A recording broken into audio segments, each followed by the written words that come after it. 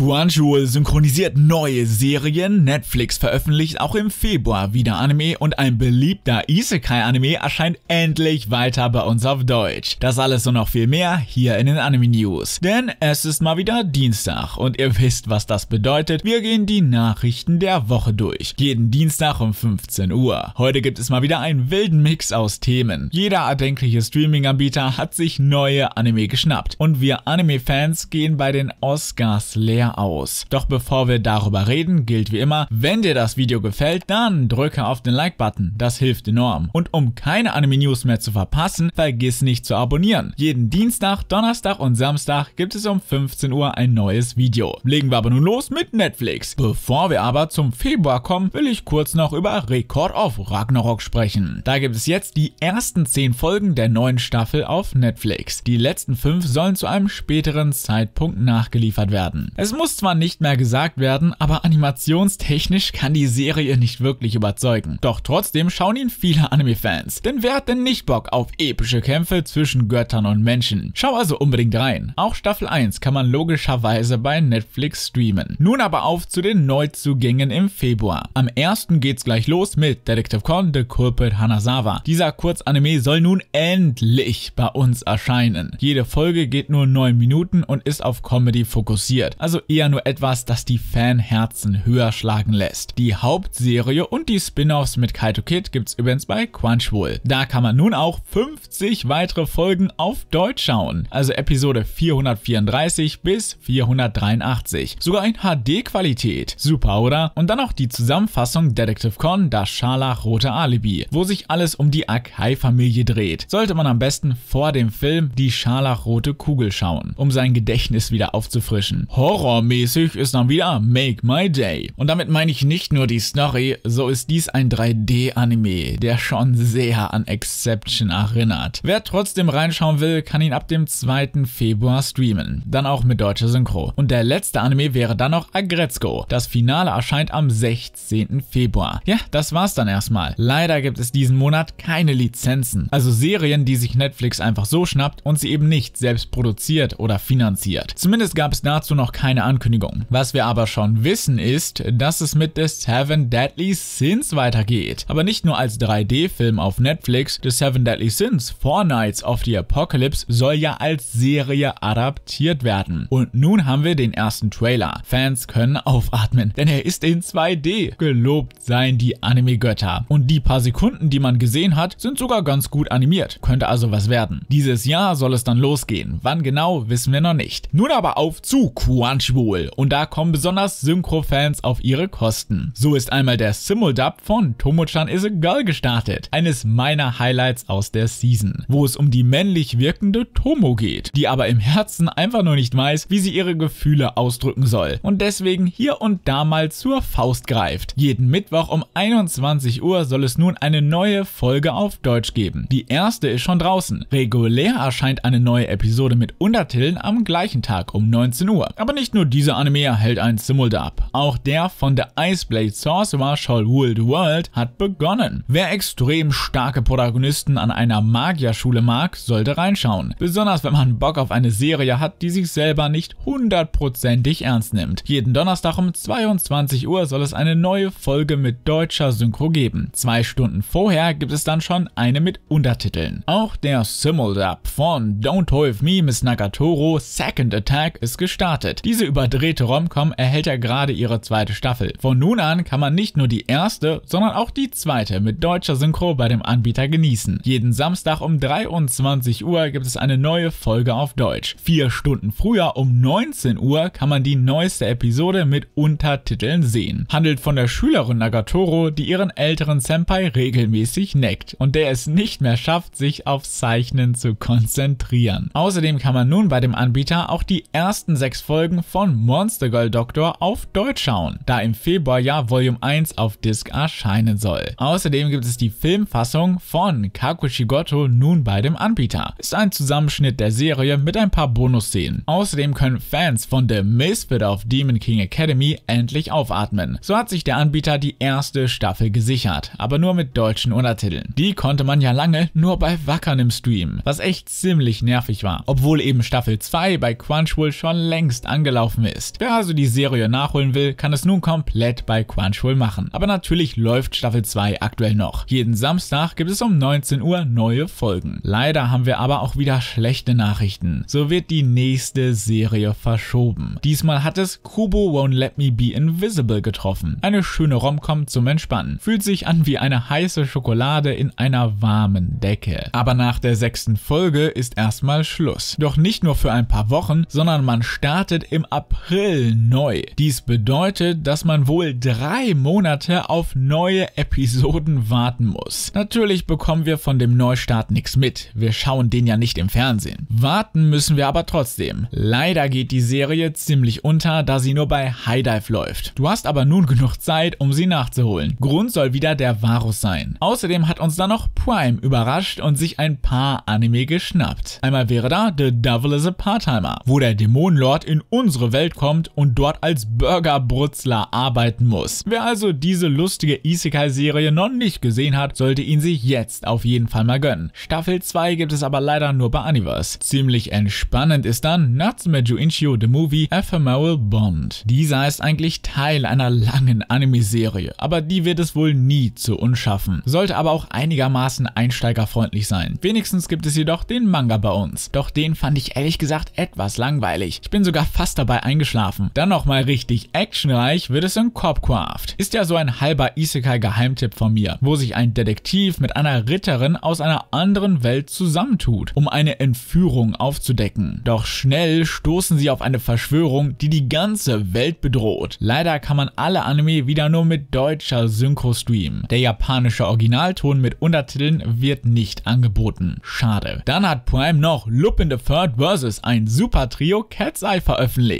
Bei diesem Film treffen die beiden genannten Diebesgruppen aufeinander. Ist leider komplett in 3D, aber dafür gibt es viele starke Frauen. Natürlich ist das Ganze besonders für Fans der beiden Reihen zu empfehlen. Das Super Trio hat sogar die originalen deutschen Synchronsprecherinnen. Wir haben den Film auch zusammen auf Twitch geschaut. War auf jeden Fall ganz lustig. Schau also mal rein. Auch Universe gönnt uns ein paar neue Serien. Los geht's am 2. Februar mit Interspecies Reviewers. Diese Edgy-Serie ist ja ziemlich krass gewesen, weswegen selbst in Japan sie manche Fernsehsender abgebrochen haben. Auch Funimation in Amerika zog die Reißleine. Wakanim hat es aber bei uns durchgezogen. Respekt nochmal dafür. Auch wenn der Anbieter wohl bald Geschichte ist. Die Serie ist aber auch ziemlich lustig, also gönnt euch. Sieben Tage später wird uns dann Dramatical Murder präsentiert. Ein Action-Anime mit ein paar Typen, die aussehen, als kämen sie gerade aus einem Idol-Anime. Diese Serie ist schon seit langem auf Crunchyroll streambar, doch vor geraumer Zeit hat sich auch Anime House die Rechte geschnappt. Nun wollen sie die Serie als Gesamtbox am 20. Mai rausbringen. Habe ich ehrlich gesagt nichts von mitbekommen. Da er auch nicht so dolle bewertet ist, würde ich unbedingt Probe schauen. Also entweder mit Untertiteln bei Crunchyroll oder eben mit Synchro auf Universe. Also das ist schon ziemlich krass, dass die Serie drei Monate vor der Veröffentlichung mit Synchro streambar ist. Liegt vielleicht an der Papierknappheit, mit der auch viele Manga-Verlage zu kämpfen haben. Traurig wird es dann in Planetarian Storyteller of the Stars. Dieses sentimentale Drama kam schon 2016 in Japan raus. Leider hat es der Film aber nie zu uns geschafft. Doch KSM hat das im letzten Jahr geändert. Schön, dass man ihn nun bald auch streamen kann. Und zwar ab dem 16.02. In eine andere Welt geht es dann wieder mit Ari Fureta vom Commonplace to World Strongest. Dieser Isekai-Anime hat ja vor kurzem eine zweite Staffel erhalten. Und nun soll die Synchrofassung auch bei Universe verfügbar sein. Wer also darauf gewartet hat, kann sie ab dem 18. Februar dort schauen. Und zum Schluss haben wir noch Hunter Hunter Phantom Rogue. Dieser Film fokussiert sich auf Grapika und Gon, wie sie gegen einen gewissen Spinnenclan kämpfen. Die Filme zu dem Anime-Klassiker kamen leider nicht so gut an, aber für Fans sicherlich trotzdem zu empfehlen. Erscheint am 23. Februar. Und nicht vergessen, man kann die komplette Hunter Hunter Serie bei Universe streamen, also die 2011er Version. Nur dort ist das möglich. Auch den Film Last Mission gibt es bei ihnen. Ein bisschen enttäuscht waren wir Anime-Fans dann bei den Oscars. So wurde kein Anime-Film für den besten Animationsfilm nominiert. Es gab zwar drei Vorschläge, also Drifting Home, der bei Netflix lief, Goodbye Don Glees hat es sogar zu uns in die Kinos geschafft, aber auch Ino-Oh. Ich muss jedoch auch ehrlich sagen, die Konkurrenz ist ziemlich stark.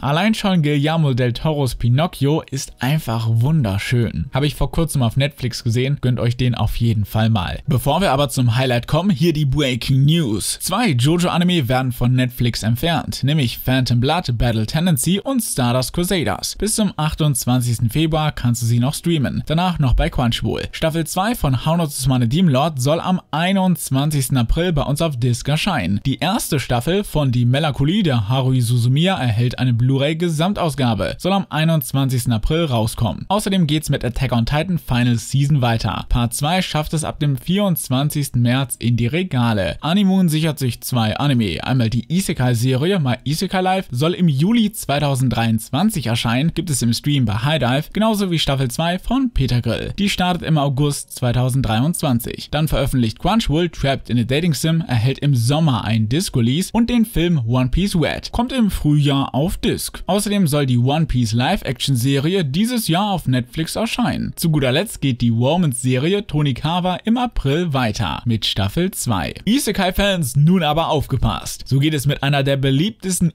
Isekai-Anime endlich weiter. Natürlich rede ich von Overlord. Diese Serie erhält nun schon ihre vierte Staffel und sie soll bei uns am 27. Juli erscheinen. Die Limited Edition kann man aber nur exklusiv bei Anime Planet kaufen. Sie ist auf 3000 Blu-rays und 500 DVDs limitiert. Nachproduktionen sind ausgeschlossen. Man kann sie schon jetzt vorbestellen, also schlag schnell zu. Interessant sind auch die Verhältnisse. So werden sechsmal so viele Blu-ray-Editionen angeboten. Da merkt man, wie stark die DVD an Marktanteil verloren hat. Wird also mal Zeit aufzurüsten. Außerdem bringt KSM den Overlord-Regisseur Naoyuki Ito und die Opening-Sängerin Mayu Maeshima auf die Animagic. Dort wird sie natürlich auch einen Live-Auftritt haben. Aber die beiden vergeben auch beim KSM-Stand Autogramme. Streamen kann man die Serie auf Universe. Für die besten Anime auf Crunchyroll klicke auf das Video oben rechts. Und wenn du wissen willst, welche Serien und Filme alles auf Disc erscheinen, gehe zum Video oben links. Aber das soll es dann auch schon gewesen sein. Über welche Anime-News hast du dich gefreut? Schreib es doch gerne in die Kommentare, drücke auf den Gefällt-Button und vergiss nicht zu abonnieren. Man sieht sie im nächsten Video. Bis dann!